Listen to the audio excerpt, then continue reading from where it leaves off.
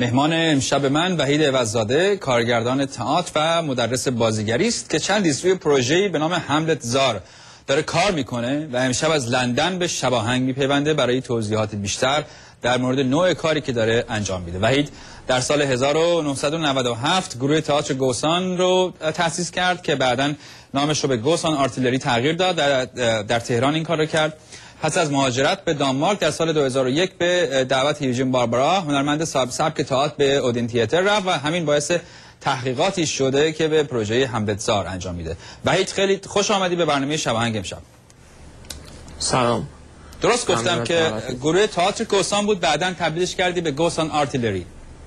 آره اسمش تو تهران تئاتر گروه تئاتر گوسان بود.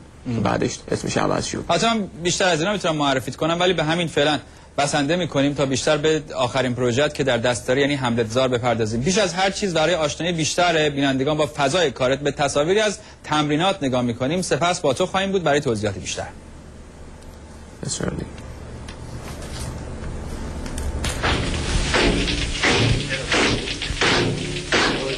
It is a meeting of two worlds, the Elizabethan theater with Shakespeare's Hamlet, archetypal of Western theater and ritual ceremony of possession calls from Middle East Czar.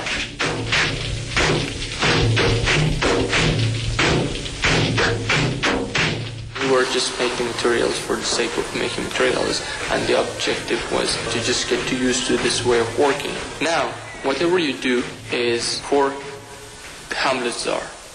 So I just want you to walk try to establish a very good contact with the floor.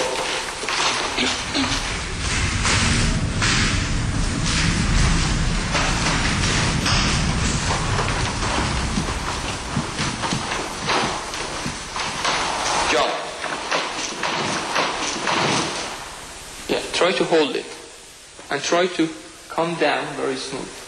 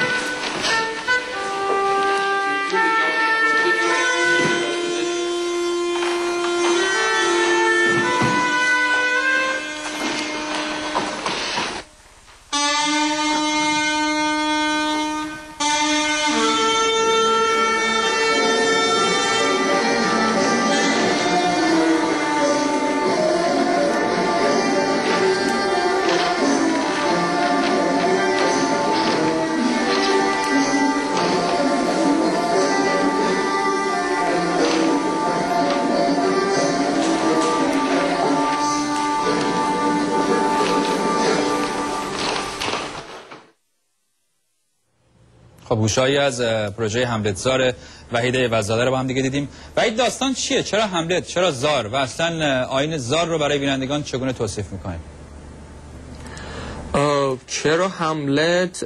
و چرا زار؟ راست جوابش خورده سخته چون که دفعه اول یک جوری به خودی خود اومد تو ذهنم و رابطه ای که بین در واقع روح پدر حملت و در واقع اون بادها و ارواحی که تو نمایش زار هست نقطه آغاز این فکر بود. ولی بعد در طول سالها خب من چیزهای بیشتری تو این فکر پیدا کردم و حملت از بابتی به عنوان یک متن خیلی مهم کلاسیک و اینکه همه تماشاگرایی که میان نمایش رو ببینن با داستانش آشناس خب خیلی برام مهمه که در واقع وقت زیاد رو داستان تعریف کردن توی نمایش نگذرونه.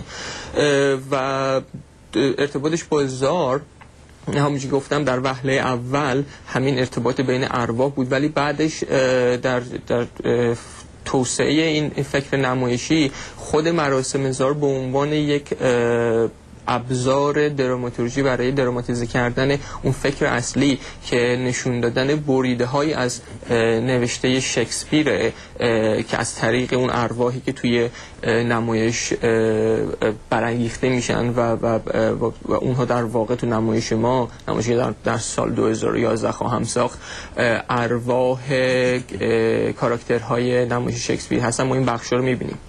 ولی مراسم زار که چیه مراسم زار رو میشه به دو, دو روش تعریف کرد. یکی از نگاه اون کسایی که بهش معتقدن و دیگه از نگاه در واقع پژوهشی عقل مدرن.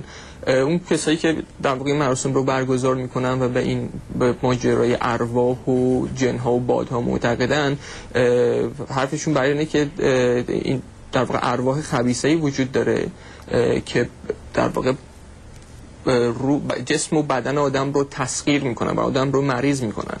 و کسانی که در واقع دکترهای محلی محسوب میشن یا جادوگر یا هر اسمی که دوست روشون بذاری یعنی بهشون میگن بابازار یا مامازار اینها و از طریق مراسم زار یک قرار و مداری با اون بادها می‌ذارن که این آدم ها رو به, حال خودشون رها کنن و دیگه اذیتشون نکنن.